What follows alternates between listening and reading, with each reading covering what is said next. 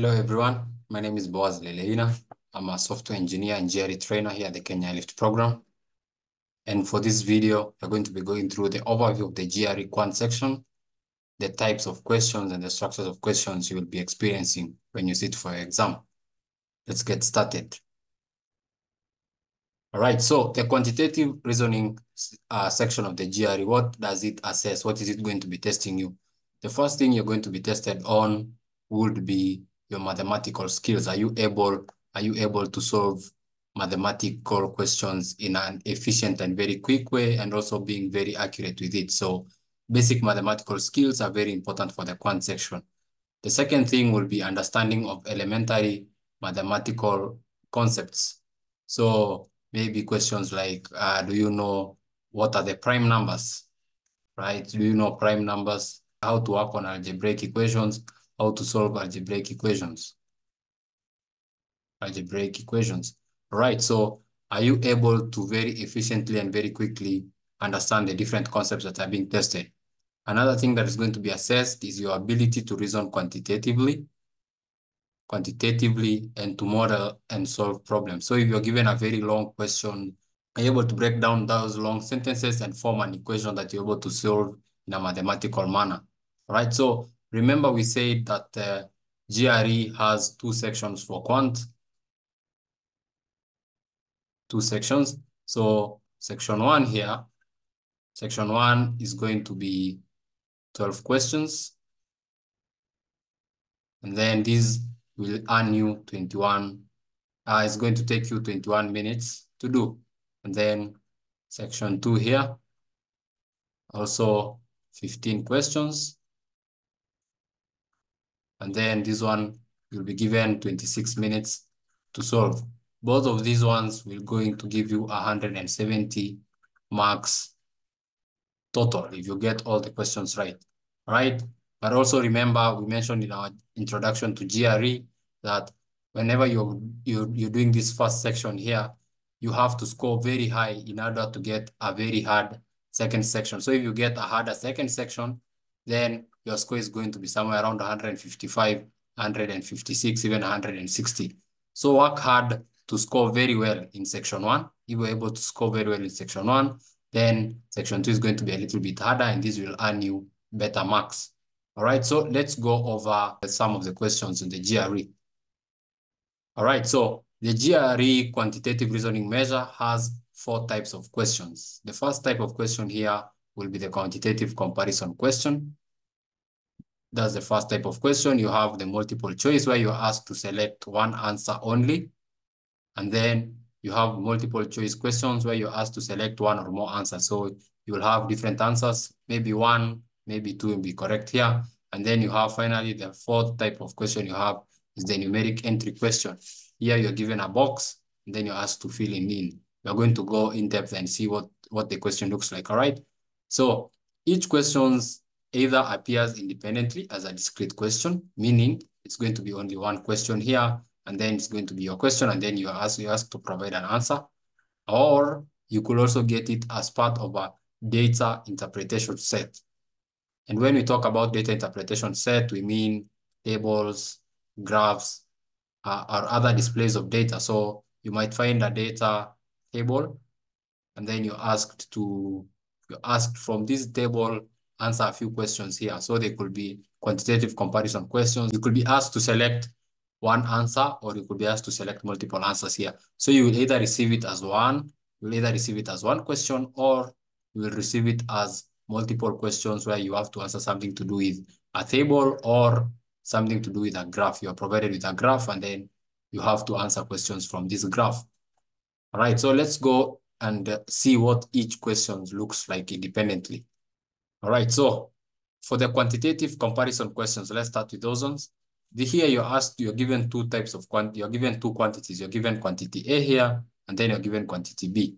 This one you're asked to determine, you are asked to compare these two, and then you have to determine if quantity A is greater or quantity B is greater, if the two quantities are equal, or the relationship cannot be determined. So this is going to be option A for you, option B, option C, option D. So you can only select one of these options. So you will find it's quantity A.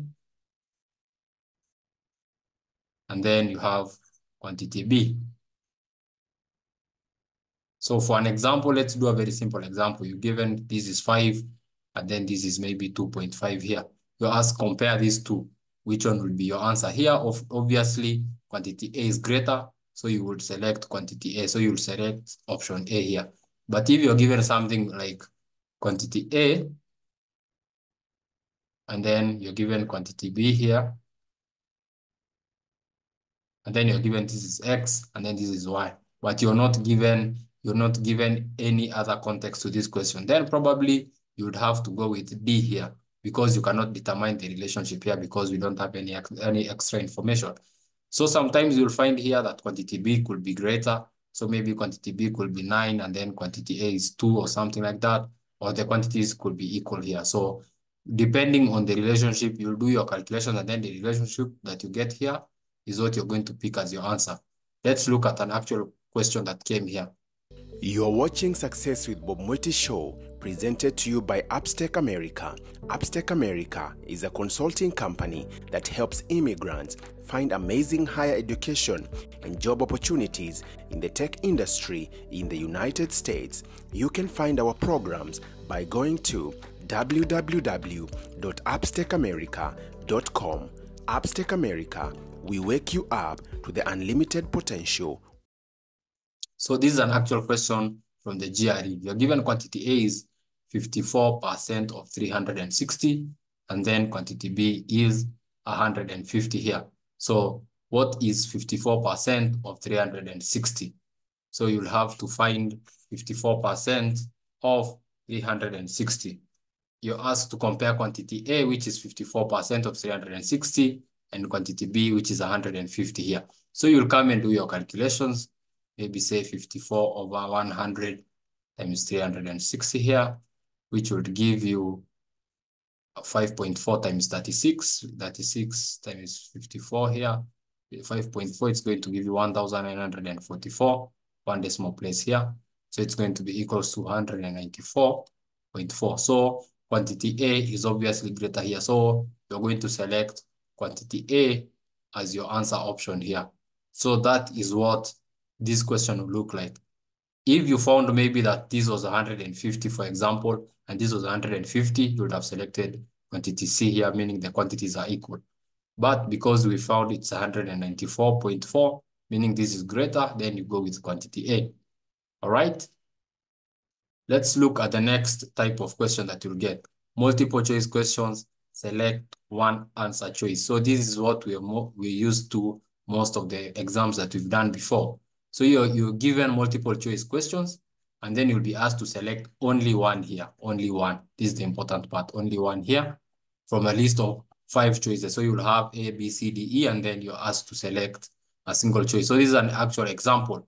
If 5x plus 32 is equals to 4 minus 2x, what is the value of x? So you come and do your calculation here. 5x plus 32 is equals to 4 minus 2x.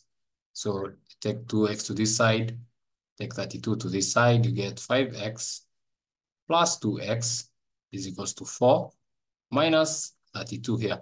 This will give you 7x is equals to, what is 32 minus 4? You get this is 8, 28. Negative because 32 is greater. Going to divide by 7. Divide by 7 here, by 7, by 7, 1.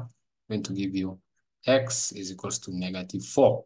All right, so finding x is equals to negative 4 here, come and select a is equals to negative 4. As simple as that. So you only asked to select one answer choice, which is the correct answer choice here, and you found your answer choice. All right, so only select, you're asked to select, the question will give you a prompt to select a single answer choice. Select a single answer choice, all right? Next question here, almost similar but a little bit different. You are asked to select one or more. So one answer could be correct or multiple answers could be correct. Example, there are, there are these multiple choice questions ask you to select one or more, right? So one or more answer choices from a list of choices. They're going to give you, they're going to give you whatever, whatever uh, number of choices, could be five, could be six, and then you're asked to select. So sometimes it's important to note that the questions may or may not specify the number of choices. Sometimes it's going to ask you to select two. It's going to ask you to select three. It's going to ask you to select four. Or it could ask you to select all that are correct. This could be one, could be two, could be three. So you always have to be careful for the answer. For example here, which of the following integers, integers are multiples of both two and three? Indicate all such integers, indicate all such integers. So multiples of two and three. So here we have eight. Eight is not is not a multiple of three here. It's it's it's it's not a multiple of three because you can't multiply three with anything to get eight. All right, so that removes the first one. We have nine. You can't multiply anything with two to get a nine here. So it's not an integer. So you cannot multiply any integer. You could multiply a fraction, but you can't multiply any integer to get a nine, all right? Then let's look at C, 12, all right? So 12, we could do 4 times 3 equal to 2 times 6. So 12 is an option here. Let's look at 18. For 18, you could do 2 times 9. You could do 3 times 6. So 18, 18 is an integer that is a multiple of both 2 and 3. Then 21 here, 21 is an odd number. So you will, it will not be a, a multiple of 2 or 3 here. It could be a multiple of 3, so it's 7 and 3. But there is no number that is an integer that you can multiply with 2 to get it. So you're being asked of both, both 2 and 3. So 21 is not an answer choice for us. Let's look at 36 here. 2, 2 times 18 gets you 36. 3 times 12 gets you 36. So 36 is a multiple of both 2 and 3. So we have three answer choices here correct, 12, 18. This is just an example of a question that you may get where you ask to select one or more answer choices. Sometimes they're going to ask you indicate three such integers. So for there, you know you're looking for three correct answers. So always be on the lookout for this prompt here. This prompt is what is going to tell you what is required by the question. For the next type of question, we're going to be looking at data interpretation questions. So data interpretation questions are just going to be those four, four types of questions that you've seen. It's going to be the same, the same types of question, but now in forms of a table. It's going to be in form of a table here. So let's look. Data interpretation questions are grouped together and refer to the same table, graph, or other data representation. So you, there could be different types of data representation here. So these questions ask you to interpret and analyze the given data. The table questions may be given as multiple choice, both types or numeric entry, could also be quantitative uh, comparison here. So those four questions that you've seen here is all the same thing. There will be no new type of question here. So you could be asked to select this figure, for example, figure eight here. This figure eight will have, let's look here, question one to three. So this figure eight has three questions. So question one, they could ask you to select select three answers, right? And then for question two, select one answer. So it's going to be the same way, the same way that we've spoken about multiple choices and single answer. That's the same thing you're going to apply here. Question three might be a numeric entry here, numeric entry. So you have to usually be very careful with these data interpretation questions because they could take a long time to do their calculations. So make sure you give adequate times to this type of question. Make sure that you're really well prepared for these types of questions because the three questions you have to come keep coming back to the table and then going back to your question. So make sure you give these types of questions adequate time to calculate. That is the end of our presentation for today. I hope you've enjoyed this video. For the next video on Quant, we are going to be going over what are some of the tips and tricks to be able to handle these questions how, what are some of the questions that may come, different topics of questions, and what you could do to make sure that you score the highest score possible in your GRE exam. So I hope we'll be meeting in the next one. Have a good time. Bye-bye.